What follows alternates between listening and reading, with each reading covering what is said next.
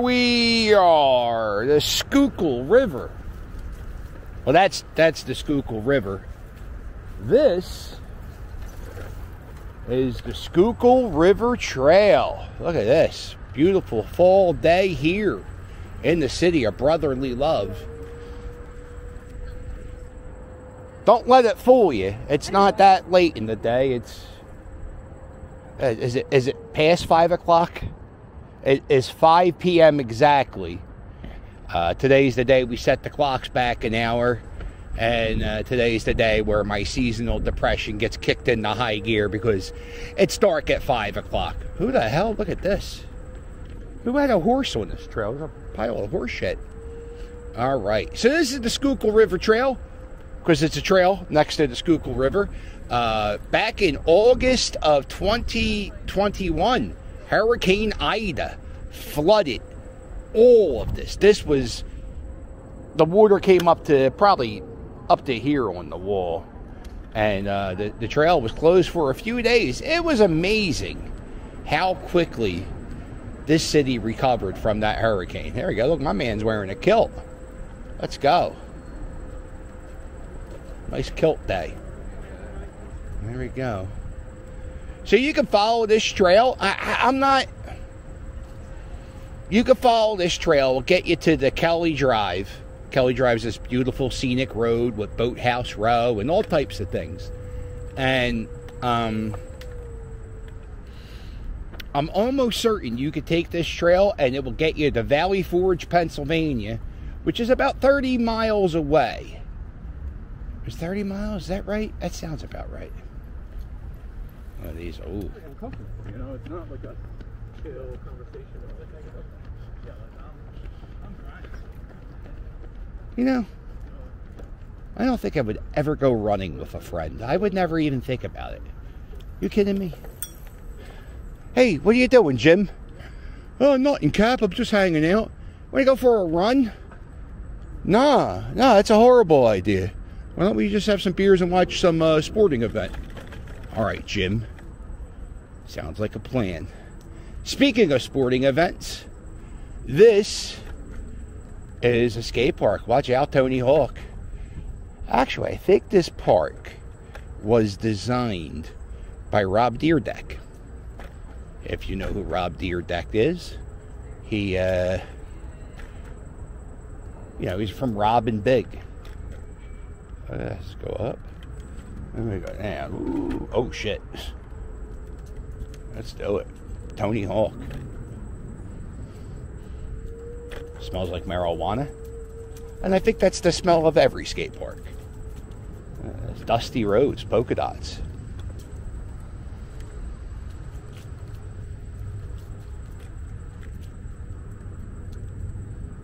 pretty much what they do is they there, there used to be a park down the way called Love Park and Love Park was kind of built like this, where there were steps, and the skaters used the steps to grind on. So what they what they did is they realized instead of like, um, man, look at this. This is beautiful street art. Um, they found out, oh, if we give them skate parks, they'll stop grinding on our statues and plaques which they still do, but it's not as bad as it used to be. There was like a while where skateboard was like really, it was like, ooh, skateboarders, they're the worst. I didn't feel that way. I was, I wasn't a skateboarder. My friends were all skateboarders. I was a, ugh, I was a punk rocker. So uh, punk rock and skateboarding, they go hand in hand. the building right there. The building has the uh, Phillies P and lights.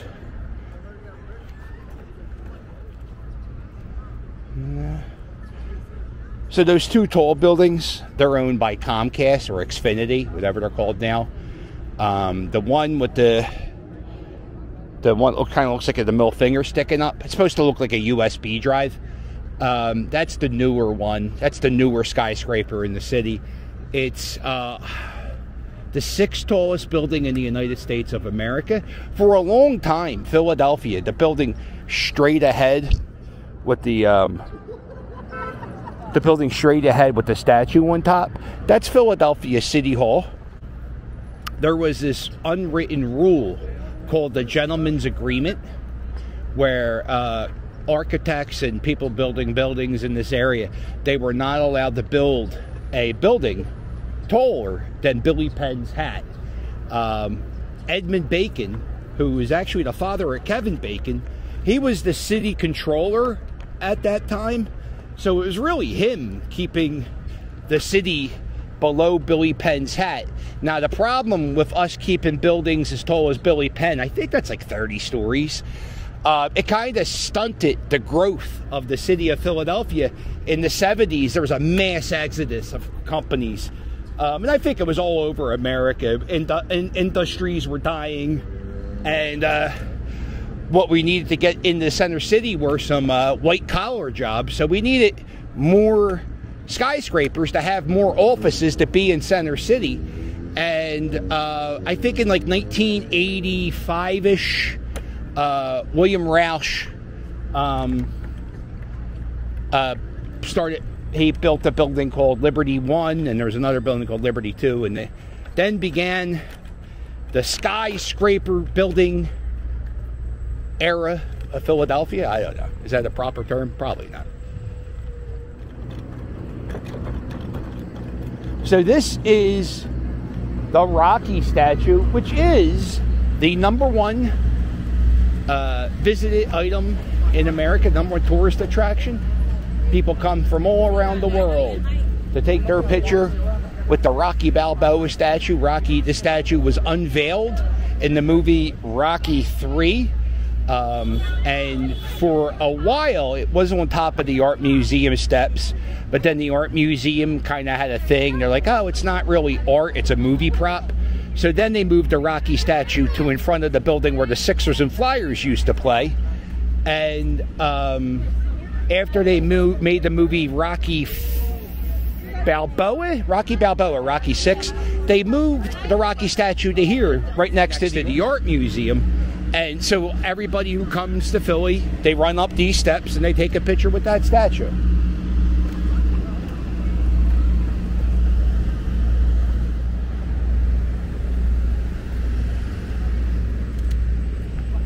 All right. Now we're going to be scooting down the Ben Franklin Parkway, uh, one of the uh, big arteries to get you from Center City to Fairmount.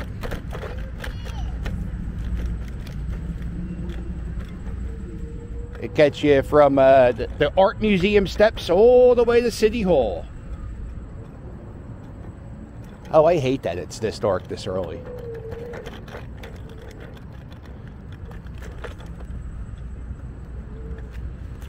Let's go.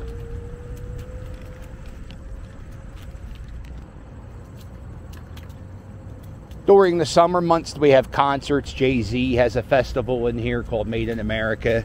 Um, during the 4th of July, there's a really big fireworks display in this section.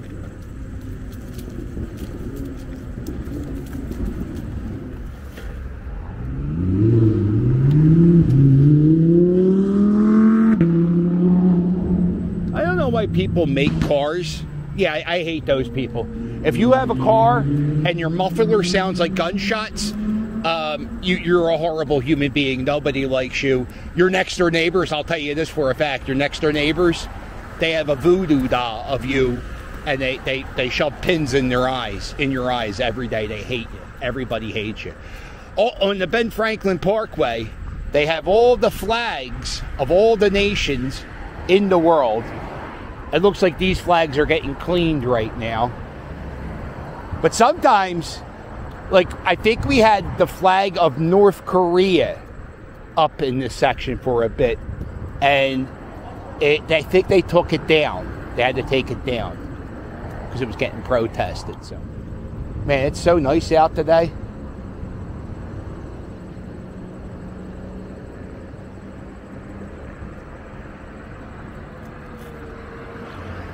We're coming up to the Rodin Museum. Rodin's that guy who came, who uh, made up the thinker. Who made up. The, he's the artist who designed the thinker. That's the way to say it.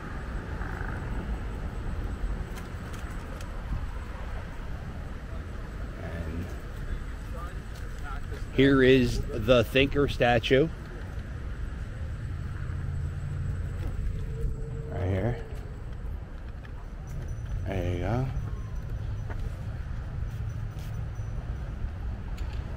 The question is, what is he thinking about? Is he thinking about anything?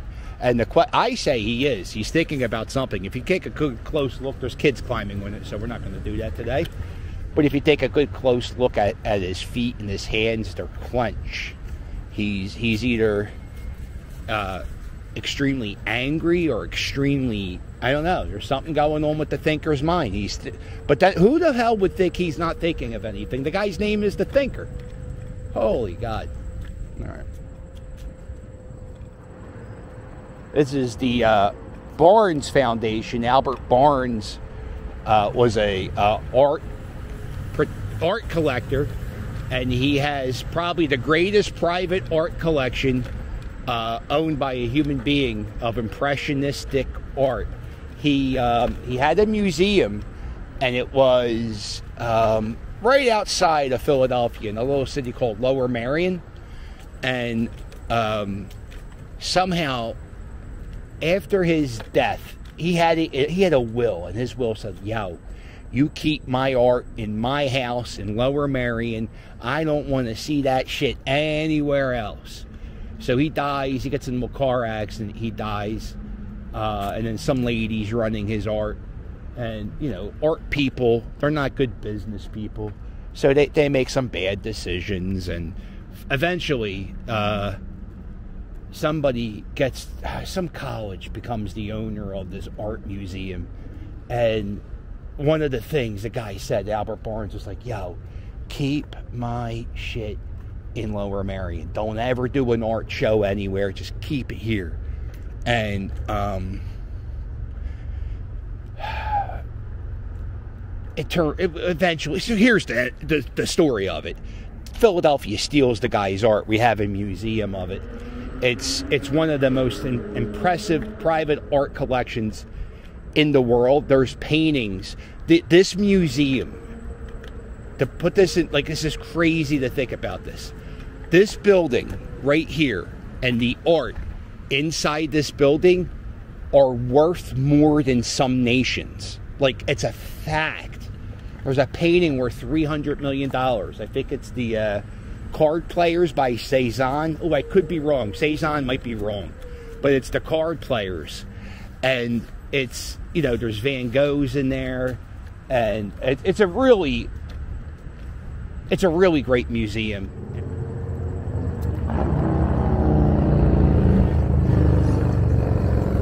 If you ever saw the show, It's Always Sunny in Philadelphia, this fountain which is uh, it's called the Logan Square.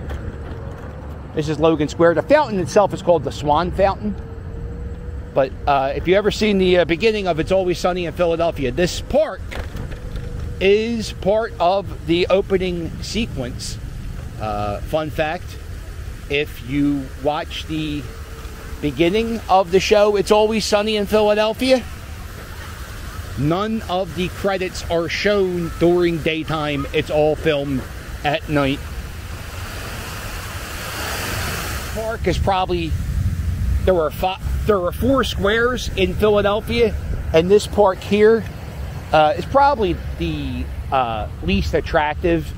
Um, also, you know, crazy homeless people take baths in the fountain. So it's, you know, if you're going to come to see the fountains or to see the parks of Philadelphia, that would be the last one I would go to. Matter of fact, I would go to this park first Sister Square Park.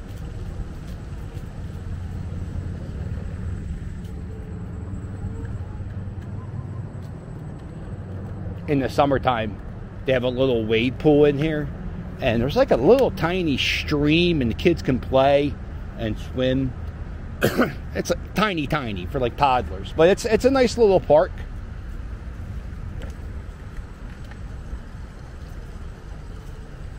Back in 2015, uh, Pope Francis came to Philadelphia. Uh, he gave he did mass on the Parkway.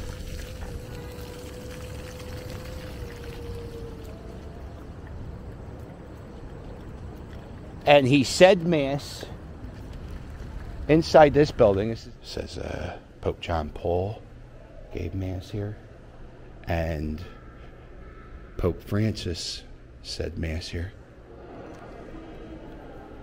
Absolutely one of the most beautiful buildings in the city.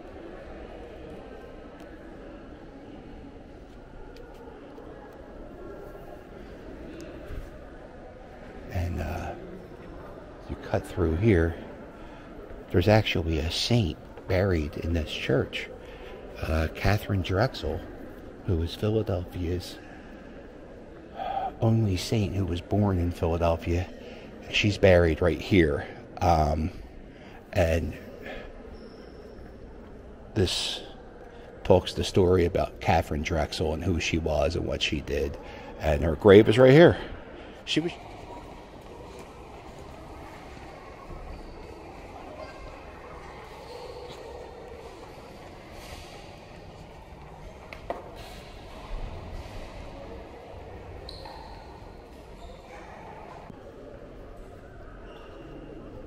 They must have just got done doing mass. Hey, you know what? Let's do it. I haven't done a little holy water. There you go. Let's go. What are we doing?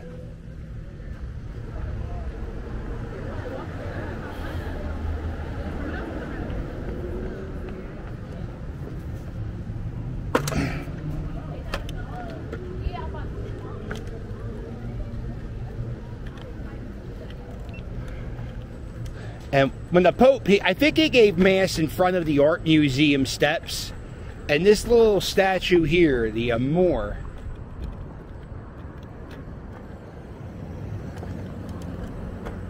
which looks just like our uh, Love statue at Love Park. This little statue sat behind the Pope when he said Mass.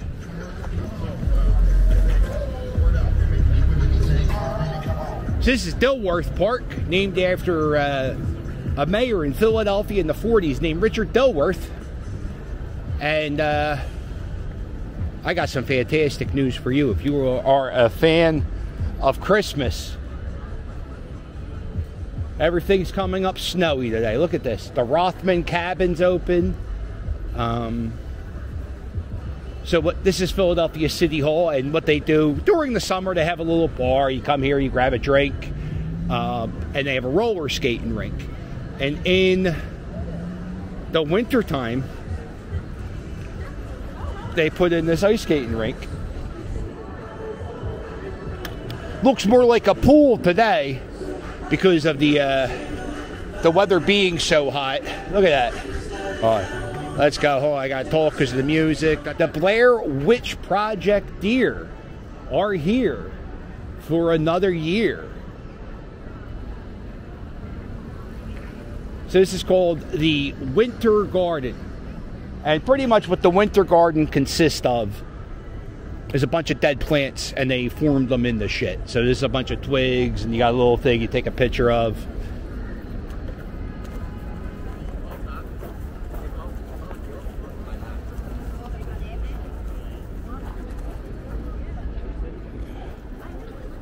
Through in this spot. They have little tables and chairs. You're fat, like come here, have lunch. Um, you don't need to buy food anywhere. You can just come here and sit. Um, and here they are, the Blair Witch Project deer. Pretty much, um, if you Google the word nightmare fuel, this is what comes up.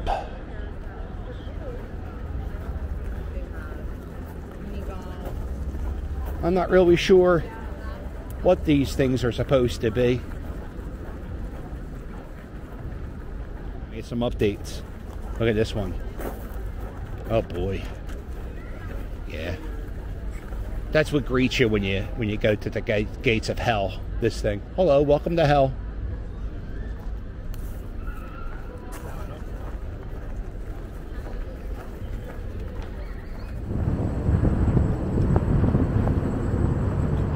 This uh, was a Wawa. Wawas are a convenience store. Uh, they used to be exclusively in this area of Pennsylvania, but now they're all over the country. And uh, this Wawa was shut down for safety reasons.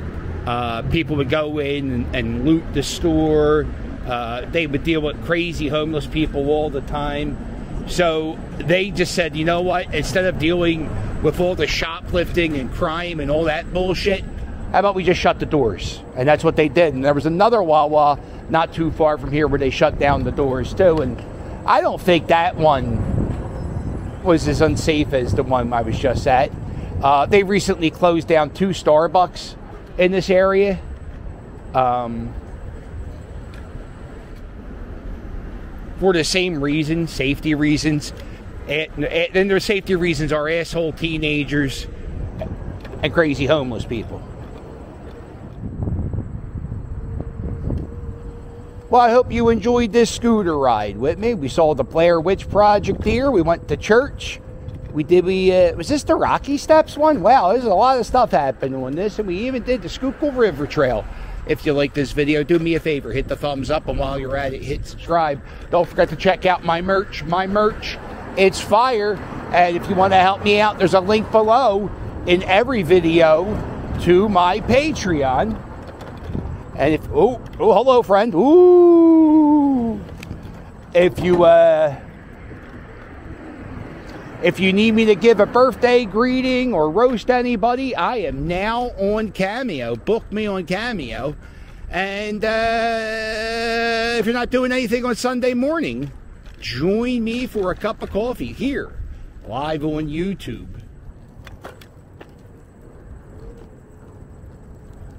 Well, don't forget to hit like and subscribe. And I'll sail with you later. Toodles!